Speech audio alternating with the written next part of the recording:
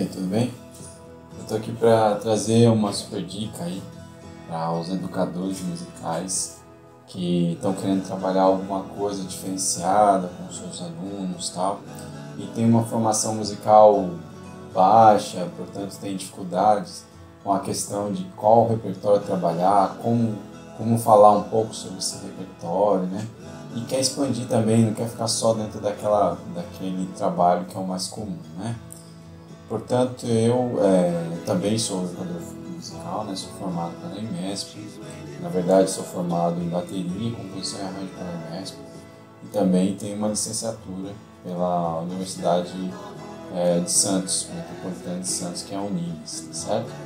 E com essa experiência toda, também sinto isso na pele, organizando minhas aulas e tudo mais, eu sinto que há uma dificuldade de quem teve uma formação mais mais é, é, pedagógica meramente, vai trabalhar com aula ou com artes, sente dificuldades de trabalhar com isso. Então, eu pensei numa coisa aqui que possa ajudar vocês, né? que é, eu criei uma playlist, isso vai estar no meu canal do YouTube aqui, Game Pinto, que até coloquei aqui no destaque. Vocês podem acessar lá o canal, lá você vai encontrar uma playlist todinha preparada com o nome dos gêneros musicais para você trabalhar com seus alunos. Músicas, inclusive, é uma playlist bastante bem escolhida porque tra traz músicas dos gêneros, músicas que, que tem um certo é, é, que são importantes para a história daquele gênero, traz compositores importantes para a história do gênero, né? Então, uma coisa que dá, é, que vai transformar essa aula um pouco mais rica, ok? E é essa, e esses gêneros eu separei aí entre gêneros populares e eruditos. E dentro do erudito, eu trabalhei pelas épocas, né? Então a gente pode escutar aqui, por exemplo, na primeira playlist aqui, a gente tem a Idade Média, né? Ou como é que era a música na Idade Média. Vai aparecer aí Leonan e Perrotan, que são dois caras muito importantes para essa época, e assim por diante, né? Você vai ter então, a gente tem aqui uma playlist de Idade Média, temos uma playlist de Renascença, né? Os períodos históricos. E também dá para você fazer um pouquinho essa, essa ideia da, dessa progressão aí da, de como a música foi evoluindo, né, ou caminhando durante esses períodos históricos, tá? Renascença, Josquin Depré, a gente vai ter, vai ter outros caras importantes aí na Renascença, como no final, como o próprio Palestina, que deu uma referência na música na época. Depois o Barroco, né, que é um período bastante importante também, onde a, a, a gente já tem o protestantismo instalado, isso é um é um, na verdade, é a contra-reforma, né? o barroco momento da contra-reforma, quando o protestantismo lá na Renascença já acontece, tem todos esses contextos históricos que são importantes, né? mas isso não está na, na playlist, a playlist só trabalha com essa, com essa ideia. O barroco, então, aqui a gente vai ter, por exemplo, é, o Handel como um cara importante, né? vamos ter Monteverdi, vamos ter Scarlatti, vamos ter vários caras importantes, inclusive no barroco, como figuras, e a música deles que que é muito importante nesse, nesse momento. Seguindo a sequência aqui, a gente vai ter clássico, né, pulando um pouquinho. O clássico já é um momento bem diferenciado da música, vai trazer outras sonoridades, né? A orquestra já está mais é, é, formada, então a gente vai ter uma sonoridade bem peculiar para esse período, né? Bem peculiar não, bem é, é configurada, bem formatada nesse período da música que a gente conhece hoje, principalmente. Então a gente vai ter caras importantes aí, é, como os filhos de Bach, né? Johann Christian e Carl Manuel Philipp. São caras importantes para esse período. E outros caras importantes também, como o próprio Mozart e, é, é, e outros tantos que a gente vai ver. O finalzinho ali de Beethoven e tudo mais. Apesar de Beethoven ser a transição entre o romântico, é, o clássico e o romântico. Aí temos o romântico, que é a época que é uma sonoridade bastante importante que é inclusive a sonoridade que compõe muito daquilo que a gente entende como música ou canção, ou coisa do tipo hoje, certo? A gente vai ter um monte de gente aqui, Schubert, vamos ter Brahms, vamos ter Wagner, vamos ter os, os Strauss, né? Vamos ter também aí caras como o próprio Schoenberg, Stravinsky, que são final desse período que já fazem a transição para o século XX, mas uma sonoridade bastante peculiar. Vale bastante a pena mostrar isso para as crianças, né? Todos esses períodos, porque eles vão ter um enriquecimento musical. Você não precisa dizer tantas coisas assim, ser basta você expô-los, trabalhar com acessibilidade, né? trabalhar com o ouvido daquilo, é bem importante isso. Bom, é, depois a gente chega no século XX, que é o som mais, é, vamos dizer assim, apesar de estar mais próximo da gente, é o que está mais distante da gente enquanto arte musical, que é o momento da, das grandes especulações, né? trabalha-se com o som de uma forma muito diferenciada e altamente é, rica em criatividade, tá certo? Então a gente vai ter casos como Stravinsky, que é importante, Barrese, vamos ter casos da música espectral como o começo da música eletrônica aí com Stockhausen, que é uma figura bastante importante para esse tipo de música, e muitos outros. Temos é, é um momento, é o período da música que mais é, temos é, variantes de gêneros e, e, e, e personalidades. Okay? E finalizamos então esse, esse, esse traço da música erudita. Tá?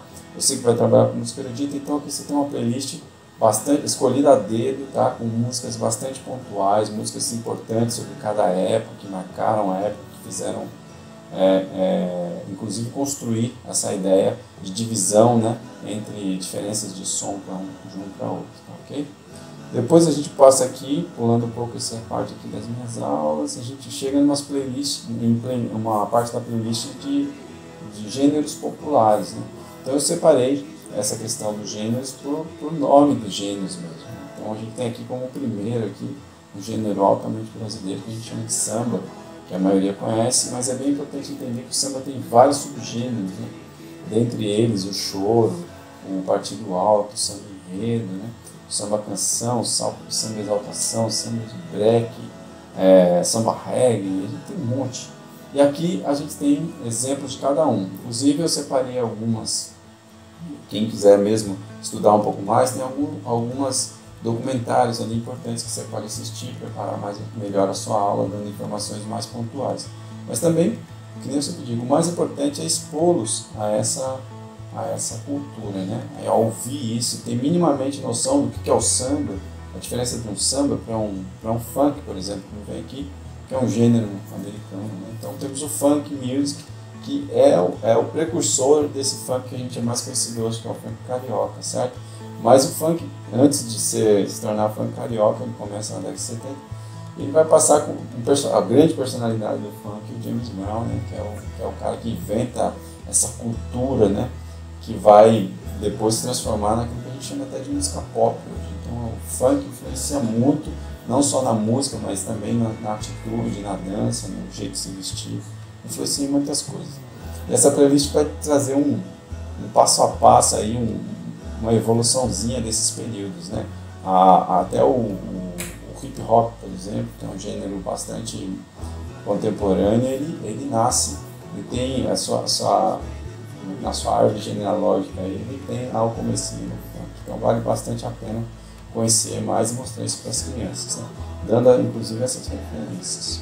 Bom, são muitas coisas, tá, gente? Flamengo tem uma cultura importante, uma cultura espanhola a princípio, né?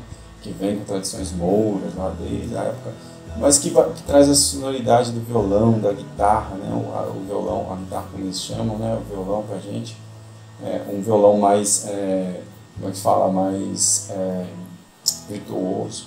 Então é, tem muita coisa aqui interessante, a sonoridade, o canto, a cultura, a dança, isso tudo vai trazer para um enriquecimento para os seus é, alunos. A salsa também, né, que tem dentro dela, é, tem vários subgêneros como o mambo, como a rumba, né, como o cha-cha-cha, são ritmos diferentes, a gente também chama isso de ritmo. Né? E a salsa tem toda essa questão é, de uma sensualidade envolvida, da dança, né, da festa, é um gênero bastante importante que influenciou músicas de todo mundo.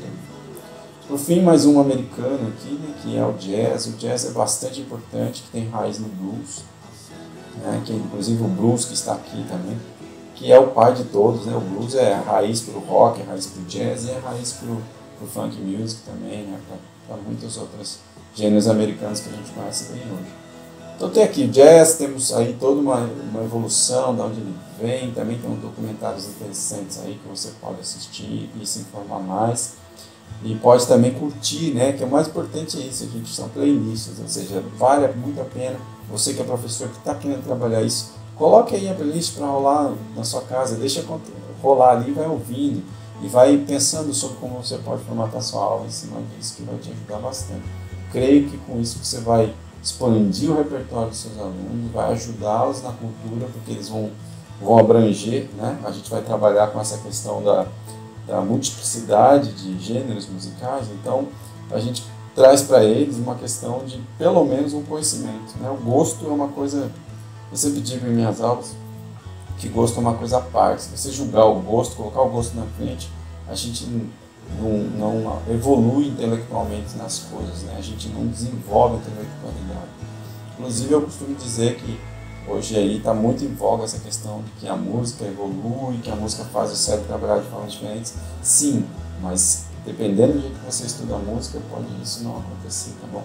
Então lembre-se que a música é, ela é uma cultura vasta e é bem importante que a gente estude ela dentro dessa mesma vastidão, né? sem colocá-la dentro de, de um lugar muito pronto, acabado, isso aqui é bom, aquilo não presta, porque daí você também está se limitando a sua capacidade. Então, aqui tem alguns, ainda colocarei mais, mas temos o blues e, e, aqui termina a playlist. O rock também, que é um grande influenciador de gerações das juventudes todas, por ter a questão da, da, do protesto na sua na sua essência. Né?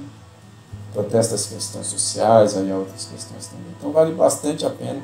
É uma playlist preparada com carinho para quem vai pensar na sala de aula e para quem vai querer trabalhar isso com os alunos de forma abrangente, não mais cercando ali dentro de um cercadinho onde você aprende umas músicas e tudo está sempre dentro do mesmo jeito, sempre dentro da mesma forma. Quer dizer, não expandimos a cultura deles, né?